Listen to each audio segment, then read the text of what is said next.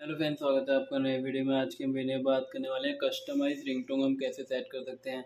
Customise ringtone क्या होता है फ्रेंड्स, आपको तो पता ही जैसे कि आप अपने हिसाब से रिंगटोन कैसे सेट कर सकते हैं कस्टमाइज उसे कहते हैं। यानी कि आप कोई भी, कुछ भी, जैसे कि आपके पास कोई सॉन्ग वगैरह या फिर कोई रिकॉर्डिंग है तो आप उसे भी सेट कर सकते हैं अपने रिंगटोन पर। तो चलिए फ्रेंड्स, वीडियो को शुरू करते हैं। वीडियो को शुरू करने से पहले अगर आप चैनल पर नए हैं तो चैनल को सब्सक्राइब और वीडियो को लाइक कर दीजिए फ्रेंड जैसे कि आप देख सकते हैं, मेरे पास ये रियल मी का फ़ोन है और आपको सबसे पहले क्या करना है सेटिंग पर क्लिक करना है तो क्लिक कर लेंगे।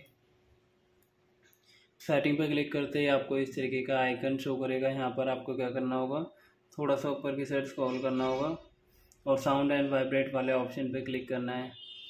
और क्लिक करते ही आपको इस तरीके का आइकन शो करेगा। यहाँ पर आपको क्या करना होगा, थोड़ा सा ऊपर की साइड स्क्रॉल करना है और यहाँ पर आपको क्या करना है रिंगटोन पर क्लिक करना है।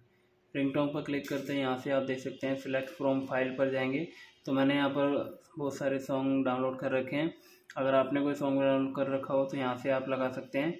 अदरवाइज़ आपको यहाँ पर डिफरेंट डिफरेंट टाइप की जो है रिंगटोन दी जा रही हैं। तो आप यहाँ से कोई सी भी रिंगटोन सेट कर सकते हैं। तो मैं ये वाली कर लेता हूँ, और मेरी ये कस्टमाइज रिंगटोन सेट हो जाएगी। तो उम्मीद है फ्रेंड्स आपको वीडियो पसंद आएगी। वीडियो पसंद आए तो चैनल को सब्सक्राइब कर वीडियो को लाइक कर दीजिए। मिलते हैं नेक्स्ट वीडियो में, तब तक के लिए नमस्कार।